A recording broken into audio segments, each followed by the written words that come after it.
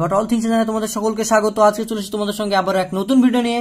আজকের ভিডিওতে আমরা আলোচনা করব গণিতের যে ষষ্ঠ শ্রেণির মডেল অ্যাক্টিভিটি টাস্ক যেটা মধ্যশিক্ষা পর্ষদ থেকে দেয়া হয়েছে, সেগুলো আজকের ভিডিওতে আমরা সম্পূর্ণরূপে সলভ করব। তো চলো শুরু করা যাক আজকের এই ভিডিও তো অ্যাকচুয়ালি পড়া হবে, গল্প হবে, সব হবে, ঠিক আছে? ছেড়ে পালিয়ে যেও না। ভিডিওটি কমপ্লিটলি দেখো এবং সমস্ত অঙ্কগুলি সুন্দরভাবে খাতায় নোট করে নাও। কারণ এইগুলি তোমাদেরকে আবার অ্যাকচুয়ালি শেষে যেদিন স্কুল খুলবে, সেদিন তোমাদেরকে আবার জমা দিতে হবে স্কুলে দ্যাটস হয় তোমাদেরকে কমপ্লিটলি ভালো করে শিখতে হবে এবং করতে হবে, ঠিক আছে? তো দেখো, আজকের এই ভিডিওটি। দেখো ফার্স্ট অফ অল যে মডেল অ্যাক্টিভিটি টাস্ক গণিত ষষ্ঠ শ্রেণির ক্ষেত্রে প্রথম যে প্রবলেমটা বলেছে, আমরা এক এক করতে কিন্তু পুরো প্রবলেমটা সবগুলো সলভ করব, ঠিক আছে? তো প্রথম যে প্রবলেমটা দেওয়া রয়েছে, দেখো, যে বলছে সাত, নয় নয়, চার চার, দুই, চার, একটা সংখ্যা দিয়েছে। এই সংখ্যাটিতে তিনটি চারের স্থানীয় মান। দেখো কটা চার আছে? একটা, দুটো, তিনটে। এই তিনটের স্থানীয় মানগুলির সমষ্টি নির্ণয় করো। তো এর আগের ভিডিওতে আমরা অলরেডি কিন্তু প্রকৃত মান, স্থানীয় মান ব্যাপারে আলোচনা করেছি। আমি তোমাদেরকে ডেসক্রিপশনে এবং কার্ডে আমি দিয়ে দিব, সেখানে তোমরা দেখে নিতে পারো। পাশাপাশি এই যে ব্যাপারটা দিয়েছে, সেখানে প্রতিটা সংখ্যার স্থানীয় মানগুলি বের করে তার সমষ্টি বের করতে বলেছে, ঠিক আছে? তো কি করে বের করবে? দেখো। প্রথমত, এক নম্বরের যে প্রবলেমটা সেখানে বলেছে যে সংখ্যাটা দিয়েছে সাত, নয় নয়, চার চার, দুই, চার। এই সংখ্যাটাতে বলেছে তিনটে চারের স্থানীয় মানগুলি সমষ্টি। দেখো অ্যাকচুয়ালি কি হবে? প্রথমত এই চারটের স্থানীয় মান হবে চারের পরে কটা সংখ্যা? একটা, দুটো, তিনটে, তাহলে তিনটে শূন্য, ঠিক আছে? তারপরে কি এটা কটা সংখ্যা? চারের পরে দুটো শূন্য, তাহলে দুটো, আর এখানে চার মানে চার। এই যে তিনটে সেটাকে তো যোগ করতে হবে। তাহলে সেটা উত্তর হবে সেটা হবে কি? ওই তিনটে চারের স্থানীয় মানগুলির সমষ্টি ওকে তার মানে কত? চার চার, শূন্য এবং চার। মানে দেখো, এখানে চারশো চলে আসলো, এখানে চার, আর এখানে চার। মানে কত? চার হাজার চারশো চার, ঠিক আছে? এটা হচ্ছে কি? ওই সংখ্যাটার সমষ্টি ওকে এটা হচ্ছে প্রবলেমের সলভেশন ওকে তোমরা লিখে নিবে যে অতএব ওই সংখ্যাটিতে তিনটি চার স্থানীয় মানগুলির সমষ্টি হলো কত? চার হাজার চারশো চার ওকে ঠিক আছে? এটাই হচ্ছে প্রবলেমটার সলভেশন ওকে দেখো সেকেন্ড প্রবলেমটা বলেছে একটি দেখো, এটা তো হয়ে গেল অলরেডি এবার বলছে যে একটি স্থূলকোণী ত্রিভুজ আঁকো যার দুটি বাহুর দৈর্ঘ্য সমান। একটা স্থূলকোণী ত্রিভুজ আঁকতে বলছে মানে কি? যার কোনটার একটি মান কি হবে? নব্বই ডিগ্রি থেকে বেশি এবং একশো আশি ডিগ্রির কম। তো সেরকম আঁকতে বলছে এবং যেখানে দুটো বাহু দৈর্ঘ্য সমান। মানে সমদিবাহু স্থূলকোণী ত্রিভুজ আঁকতে বলেছে, ঠিক আছে? দেখো, কি করে আঁকবো? এটা ভালো করে করতে হবে, ঠিক আছে? প্রথমত কি? বলেছে যে তোমাকে একটি স্থূলকোণী ত্রিভুজ আঁকতে এবং সেখানে দুটো বাহু কিন্তু সমান হবে। তার মানে যদি আমরা নর্মালি এখানে এইভাবে যে একটা স্থূলকোণী ত্রিভুজ এইভাবে আঁকছি, তার জন্য কি একটা বাহু আঁকলাম? পাশাপাশি এই বাহুটাও টানলাম।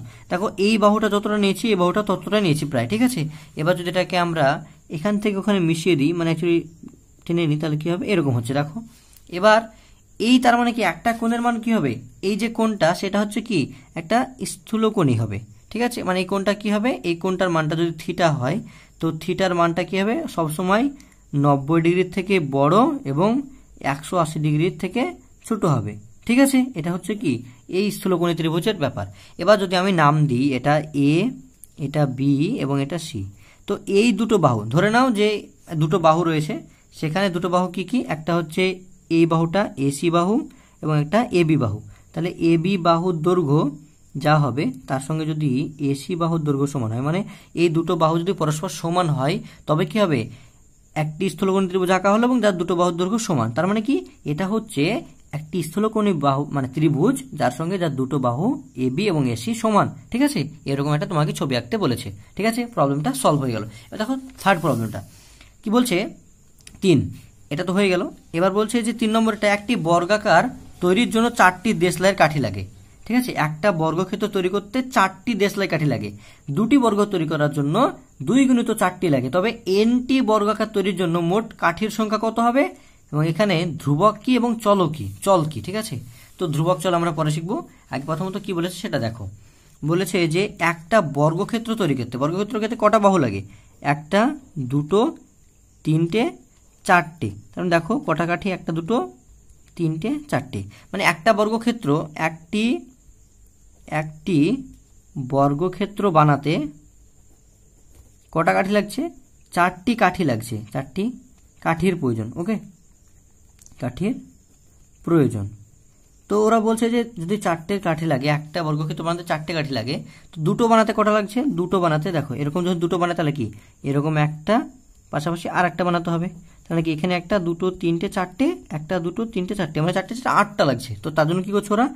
দুই গুণিত চার। তাহলে দেখো আটটাই হবে, তাই না? এত কাঠিগুলোর প্রয়োজন, ওকে? এবার বলছে যে এনটি বর্গাকার তৈরির জন্য মানে এরকম এনখানা বানাতে হবে। দেখো, যখনই আমরা দুখানা বানাচ্ছি, তাহলে কি এই দুইটা চলে আসছে দুইয়ের জন্য? এখানে কি এক গুণিত চার, এটা মানে কি? এক গুণিত চার।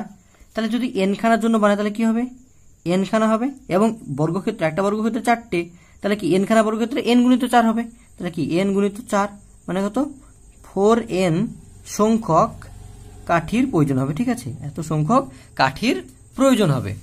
ওকে? তার মানে কি? উত্তরটা কি হচ্ছে? ফোরেন এবার বলছে এখানে, ধ্রুবক ও চল কি? দেখো, ধ্রুবক মানে কি? ধ্রুবক। আর একটা হচ্ছে চল। এই দুটো আগে জানতে হবে কি জিনিস, তারপরে আমরা সলভ করতে পারব ব্যাপারটা।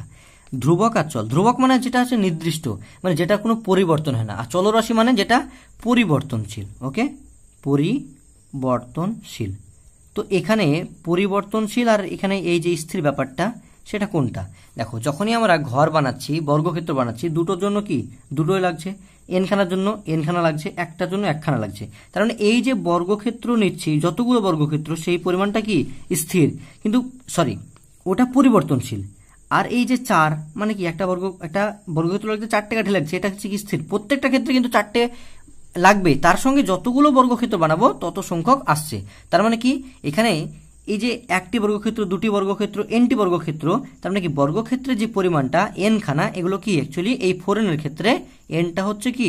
পরিবর্তনশীল মানে চল রাশি ওকে এনটা হচ্ছে চল রাশি কিন্তু এই যে ফোর মানে কি? কাঠির সংখ্যা। এটা হচ্ছে কি?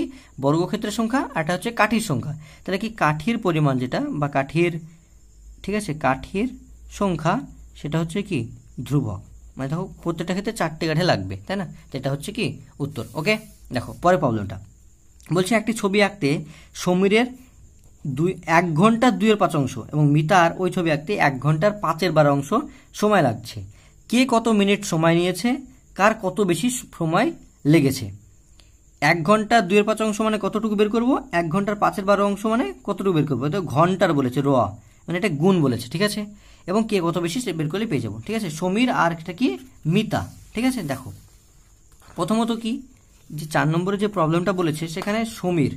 তো একটা আমি কী করছি? সমীরের পার্ট করে দিচ্ছি, সমীর একদিকে আর এটা হচ্ছে মিতা একদিকে, ওকে? মিতার বলেছে, তো মিতার, ঠিক আছে? সমীর। এবার দেখো, সমীর কি বলেছে যে এক ঘণ্টা দুইয়ের পাঁচ অংশ মানে কি? এক, সেটা এক ঘণ্টা মানে কি? সিক্সটি মিনিট সিক্সটি গুণিত দুইয়ের পাঁচ, ওকে? আর এখানে কি বলেছে? যে এক ঘণ্টার পাঁচের বারো মানে কত এক ঘণ্টা মানে ষাট গুণিত পাঁচের বারো ওকে দেখো কাটাকাটি করলে কি হতে হবে? পাঁচ বারো ষাট মানে কত? পঁচিশ মিনিট, ঠিক আছে? পঁচিশ মিনিট। আর এটা কত? পাঁচ দিয়ে কাটলে পাঁচ বারো ষাট মানে বারো দুনে চব্বিশ, ঠিক আছে? তার মানে কত? এটা চব্বিশ মিনিট, আর এটা হচ্ছে পঁচিশ মিনিট, তার মানে কি সমীর চব্বিশ মিনিট এবং মিতার ওই এটা করতে লাগছে, ছবিটা আঁকতে লাগছে পঁচিশ মিনিট। তাহলে কে কত মিনিট সময় নিয়েছে এটা বের করে ফেললাম, তাহলে সমীর চব্বিশ মিনিট, মিতা হচ্ছে পঁচিশ মিনিট। কিন্তু কে কত বেশি নিয়েছে, তাহলে মিতা সমীরের থেকে এক মিনিট বেশি নিয়েছে। দেখো তো যেখানে কি, পঁচিশ মানে কি তো, চব্বিশ প্লাস এক, তার মানে কি অ্যাকচুয়ালি সমীরের থেকে মিতা এক মিনিট বেশি সময় নিয়েছে ছবিটা আঁকতে ওকে এই যে একটা, সেটা হচ্ছে কি এক্সট্রা নিয়েছে ওকে বুঝতে পারলে? দেখো, এবার চারেরটা তো কমপ্লিট হয়ে গেল, তারপরে নিচেরটা। নিচেরটা কি বলেছে? এই যে একের প্রবলেমটা, সেখানে বলেছে জিরো পয়েন্ট সেভেন এবং জিরো পয়েন্ট জিরো জিরো সেভেনের মধ্যে সম্পর্ক হলো। মানে এটা দিয়ে এই সম্পর্কগুলো যেগুলো দিয়েছে, সেটা তোমাদেরকে বের করতে হবে। দেখো, আমি কিন্তু এখানেই করব প্রবলেমটা। যে এই দুটোর মধ্যে, দেখো, একটা কি জিরো পয়েন্ট সেভেন? এটা যদি দশমিকটা তুলে দিই, তাহলে কি পাবো? সাত বাই দশ, আর একটা কত? যদি দশমিকটা তুলে দিই এখান থেকে, যে জিরো পয়েন্ট জিরো সেভেন আছে সেখান থেকে তুলে দিলে একটা এক আর দুটো সংখ্যার জন্য দুটো শূন্য। মানে দেখো, এটা সাত বাই দশ, আর এটা হচ্ছে সাত বাই একশো। যখন এই নিচে বড় সংখ্যা থাকে, তার মানে কি? পুরো সংখ্যাটা ছোট হয়ে যায়।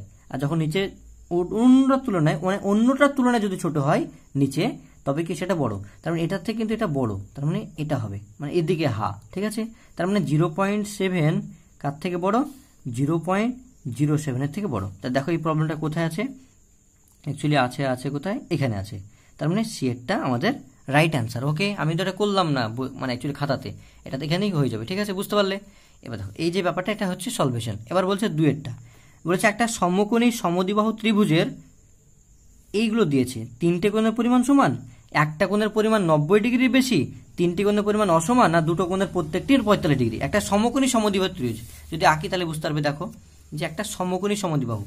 কি? এটা হচ্ছে কি? অ্যাকচুয়ালি একের দুয়েরটা এটা সমকোণী সমদ্বিবাহু। যদি এটা সমকোণী ত্রিভুজ আঁকি ওকে এখানে আঁকলাম একটা সমকোণী সমদ্বিবাহু দেখো, এটা হচ্ছে নব্বই ডিগ্রি কোনটা আর এই দুটো বাহু সমান। এটা এ এটা বি এটা সি যেখানে এ বি বাহু সমান এসি বাহু। ওকে আর একটা কোণ নব্বই ডিগ্রি। এবার বলেছে যে, এই ত্রিভুজের ক্ষেত্রে দুটো কোণের মানে অ্যাকচুয়ালি কোণের ব্যাপারগুলো জিজ্ঞেস করেছে। তো এটা কি হয়? একটা সমকোণী ত্রিভুজের ক্ষেত্রে আমরা সকলেই জানি যে, তার বিপরীত কোণগুলি পরস্পর কি হয়? সমান হয়। মানে অ্যাকচুয়ালি কি, এটা নব্বই ডিগ্রি হয়, দেখো। এই দুটো সমান হতে হবে। মানে পঁয়তাল্লিশ ডিগ্রি করে নব্বই ডিগ্রি হলে তিনটে কোনো সমষ্টি একশো আশি ডিগ্রি হবে।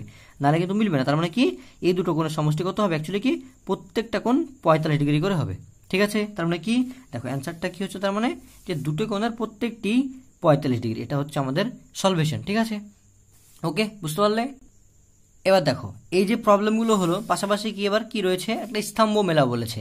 তো এটাতে অ্যাকচুয়ালি বলতে গেলে কি আমারও সামথিং ডাউট রয়েছে ইভেন তোমরাও বুঝতে পারবে না এখন বললে। আমি চাইছি এই ব্যাপারটা সম্পূর্ণরূপে আলাদা একটা ভিডিওর মাধ্যমে তোমাদেরকে বোঝাবো, তাহলে তোমরা ভালোভাবে বুঝতে পারবে। দেখো, আমি যদি বোঝাই, তো না বুঝতে পারো দেন তোমার কি হবে? রাগ হবে, মনে মনে গালি দেবে, তাই না? তো আমি সেটা চাই না, তো ভালো করে পরে বোঝাবো, তার জন্য ওটা রেখে দিলাম, ঠিক আছে? তোমাদেরকে ভালো করে আমি অন্য ভিডিওতে বানিয়ে দেবো ওকে দেখো, পরেরটা কি বলেছে? যে শিলার এখন বয়স এক্স বছর চার বছর আগে শিলার বয়স কত ছিল? চার বছর পরে কত হবে? কি বলেছে? যে শিলার বয়স এখন কত বছর?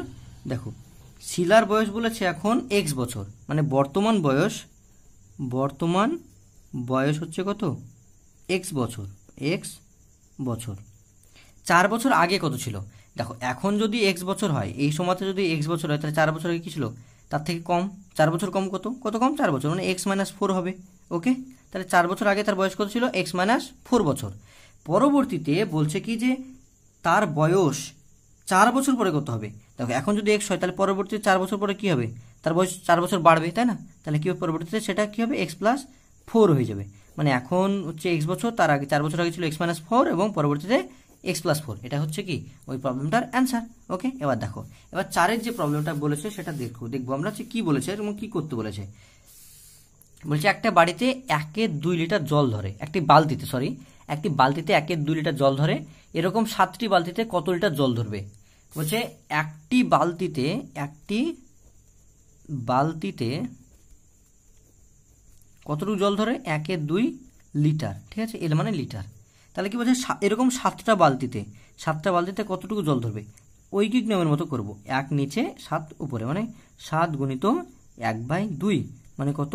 সাত বাই দুই লিটার জল ধরে। তার মানে কি? সাতটি বালতিতে সাত বাই দুই লিটার মানে কত? থ্রি পয়েন্ট ফাইভ মানে সাড়ে তিন লিটার জল ধরে, ঠিক আছে? মানে একটা বালতিতে যদি হাফ লিটার হয়, তাহলে পুরো সাতটা বালতিতে কত হবে? সাড়ে তিন লিটার হবে। তিন দুনে ছয়, পাঁচ মানে কত? Three point five litre. এত লিটার জল ধরবে। ওকে বুঝতে পারলে? তাহলে দেখো, প্রতিটা প্রবলেম সলভ হয়ে গেল। যেটা থাকল আমি সেটা পরবর্তী বুঝিয়ে দেবো। আর অ্যাকচুয়ালি কথা প্রত্যেকটি প্রবলেম আমি সুন্দর করে বুঝিয়েছি। যদি না বুঝতে পারো, তাহলে আমাকে কমেন্টে অবশ্যই জানাবে যে কোনটা বুঝতে পারলে না। আর ভিডিওটি ভালো লাগলে অবশ্যই অবশ্যই অবশ্যই একটা লাইক করতে ভুলবে না। আর আমার চ্যানেলটিকে সাবস্ক্রাইব করে রাখো, এরকম সুন্দর সুন্দর ভিডিও পাওয়ার জন্য। এবং আমি চেষ্টা করব খুবই শীঘ্রই প্রতিটি ক্লাসের মডেল অ্যাক্টিভ টাস্কগুলো আমি কমপ্লিট করে দেওয়ার। পাশাপাশি ক্লাস টেন নাইন এইট এবং ফাইভ টু টুয়েলভ পর্যন্ত ভিডিও আপলোড করার। ভালো থাকো have a good day bye আবার আসছি নতুন ভিডিও নিয়ে।